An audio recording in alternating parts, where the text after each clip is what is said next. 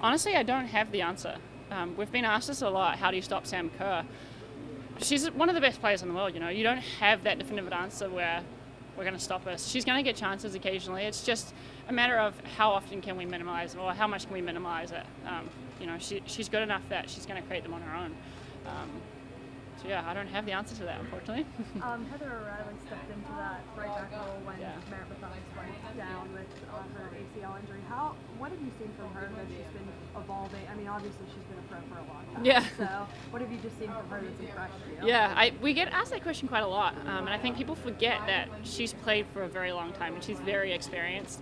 Um, it's obviously not her natural position. She, you know, she's more comfortable being up front, but um, you know, she's she's slipped in seamlessly. It's it's obviously been, in terms of the relationships, it's been a bit of a tough one. Um, so late in the season, you know, we spend 20 odd games building relationships with players and, and, and they are seamless when you go into these kind of championships and these big games but you know she like I said she's experienced and she just slipped straight in um, we've had to work on a couple of couple of things defensively um, like I said just because it's not her natural position but I'm not worried about it at all And you guys have been to the championship now three times in a row, four for counting Western New York Classic. We'll count for you. ya. um, what's it like to just be here and like be involved with all the consistency and, and what's it mean to be?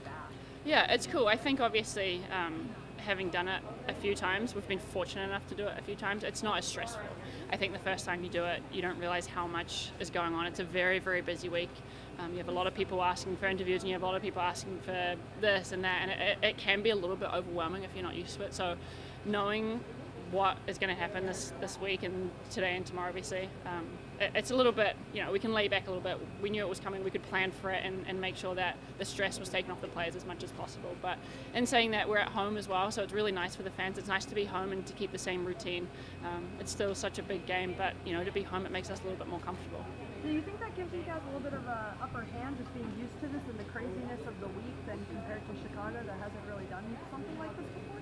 Yeah, I mean, I, in terms of the experience, we're obviously always going to have the advantage. I saw Rory yesterday, we were joking about it. Um, you know, just small things like not knowing about open trainings and, and stuff like that can, can mess your week up a little bit, and he obviously didn't know about it. So, you know, just, just small things like that. But um, yeah, no, being at home, we've obviously had a really good away record for the past two years, but being at home is always special. You have the crowd, you have the community around you, and it is a little bit of a 12th man, 12th man effect. Um, you know, we're really going to need that playing against Chicago. They're a really good team. I have a lot of respect for them, so I think it's going to be a really good game. This is a team you've played three times, but the last time was three months ago, and the other times people were on assignments, injuries, what have you. Do any of those matter, or is this just two different teams, I guess, than the previous meetings this year? Yeah, I mean, we're not different teams, obviously. We, we have to. I mean, we have to be careful in- terms of considering the history of the league because anything can happen in these last two games.